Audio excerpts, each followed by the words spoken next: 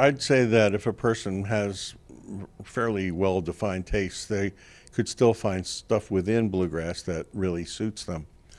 Um, and here's another little quote. This is from the first Bluegrass Festival. Don Reno's on stage and he's reminiscing with Bill Monroe and Benny Martin and other people who are up there talking about their careers in bluegrass. And they, he says, you know, bluegrass will never die. Of course, you wouldn't say that unless you were a little worried that it might. But he said, you know, there's seven different moods in bluegrass. And he never did name them.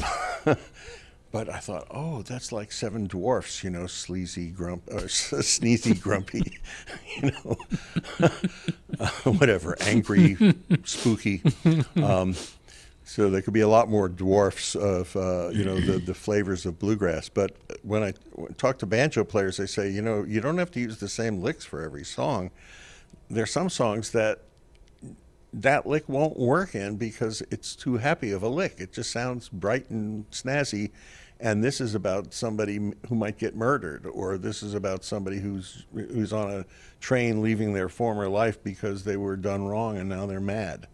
And you, you have to find some way to convey that, even as a banjo player, which a lot of banjo players think, well, I, I memorized all those licks. What am I going to do? I say, well, just think about what the song's about, and see what comes out of your hands uh, to make sounds. You know, you will have different, you'll have a different touch you'll you'll you know you'll play different types of notes. There are some notes that are bluesy notes, and you'll gravitate toward those or not.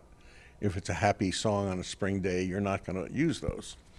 And uh, that helps people understand that there's depth to the music that's not just about foot tapping and yeehaw and listen to that banjo kind of thing. That, you know, that's part of it, obviously, but there's a lot to it. And I think uh, anybody whether you're DJ programming a, a, a, program or a band presenting to different kinds of audiences, it's good to know the different kinds of moods that you can create and uh, and create like a little bit of a um, I don't know, it's like a book of short stories.